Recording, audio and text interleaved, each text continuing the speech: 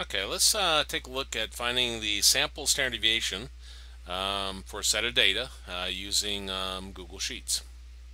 So I'm going to input some data in.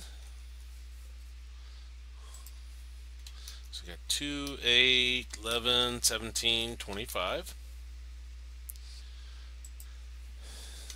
And sample standard deviation, this is uh, the symbol S. And I'm going to type equals now sometimes you can start typing it and you see it. See as I start typing what I think uh, the standard deviation should be, nothing's popping up.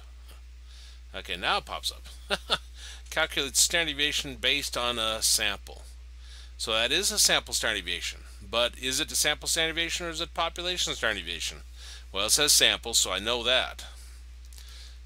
You may find it easier in some of these to come over to your function over here and scroll down with your mouse wheel, go to statistical, and over here you're going to see standard deviation, but specifically you're going to see standard deviation.p and you see standard deviation.s.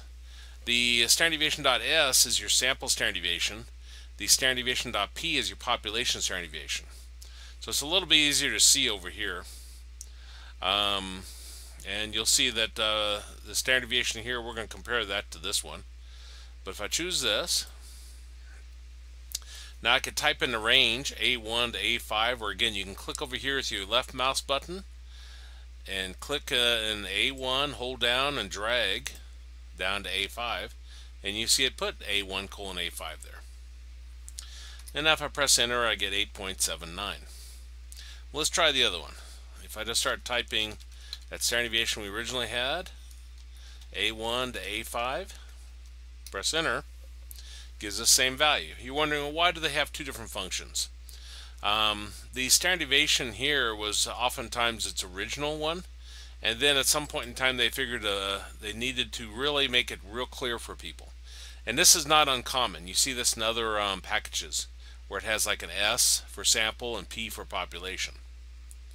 But anyway, that's how you find the uh, sample standard deviation.